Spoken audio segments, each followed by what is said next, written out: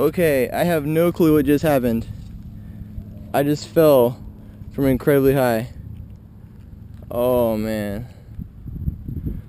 Well, broke the shaft off the yaw.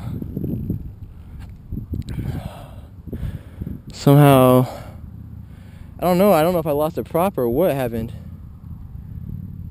That was pretty crazy. No matter what I did, just kept falling.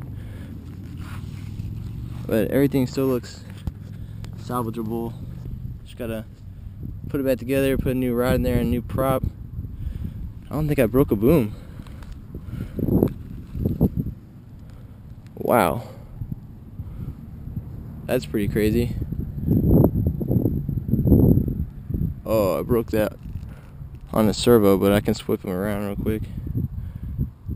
Wow. Actually did pretty good from flying from falling how far it did.